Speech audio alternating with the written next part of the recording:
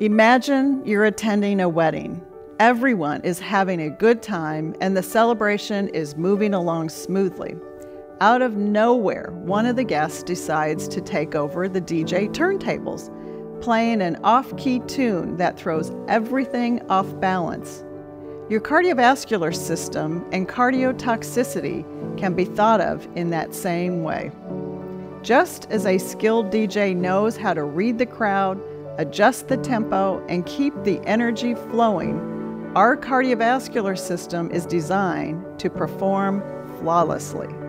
But when toxic substances or treatments interfere, they disrupt the heart's smooth groove, potentially leading to serious complications.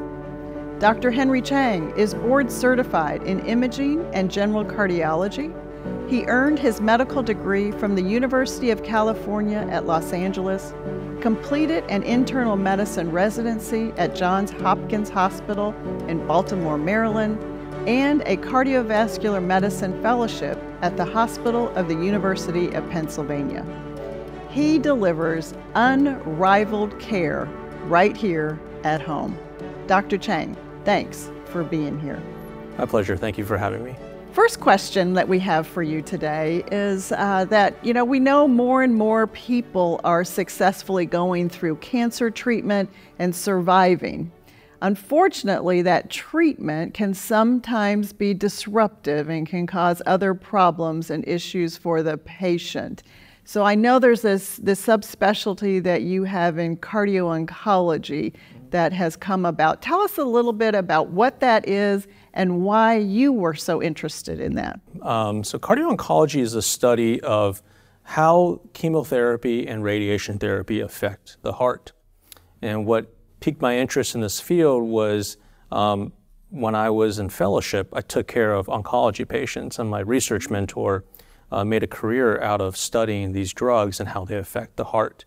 And so in fellowship, we uh, engaged in uh, the study of using artificial intelligence and imaging and combining that to screen patients uh, for early onset cardiotoxicity. Oh, fascinating, fascinating.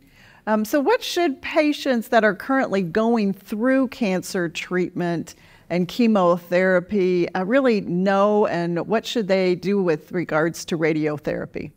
Yeah, so not all uh, chemotherapy regimens are cardiotoxic. Um, I think with the um, the great care that's offered by their oncologists, especially uh, Tennessee Oncology, um, they are attuned to which therapies can be potentially cardiotoxic. Mm. So what I typically tell patients is reach out to their oncologist and see if the drug that they're on is cardiotoxic, and then they can be referred to a cardiologist for management. Oh, interesting. Who should seek the care of a cardiologist when they're going through cancer treatment? Uh, so patients with a prior medical history, uh, either a prior cardiac history, diabetes, obesity, hypertension, and then if they're undergoing treatments that are cardiotoxic or known to be cardiotoxic. Now, there are some treatments that are experimental and may not um, have the full side effect profile um, that's well understood. And so those patients uh, can seek out an, a cardiologist to help them through their therapy um, when they're undergoing something that is uh, unknown. Yeah, really takes a partnership, doesn't it, between the cardiologist and the oncologist yes. uh, for this treatment. What are some of the things that cancer patients can do to lower their risk of cardiotoxicity? Yeah, great question. So, um, making sure that their diabetes and their high, hypertension is under control, um, live, living an active lifestyle, eating healthy, um, having regular checkups with their primary care physician as well as their oncologist and then if there's ever any question, to seek out the expertise of a cardiologist in our um, cardio-oncology clinic.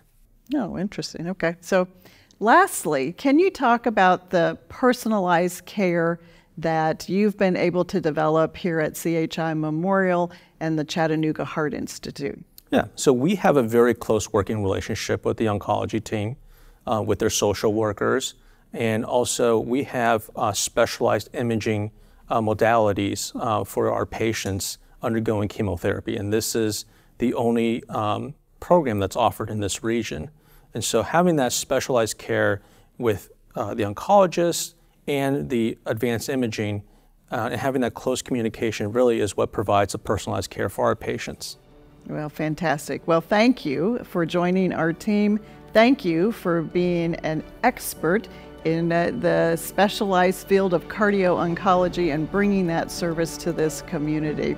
You really have developed unrivaled care here in this community. Thank you very much. My pleasure. Thank you for having me.